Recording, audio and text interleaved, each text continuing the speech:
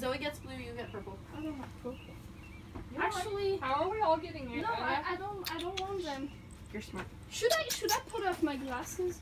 Hang on. You can read this thanks to the music teacher. Teacher Mila.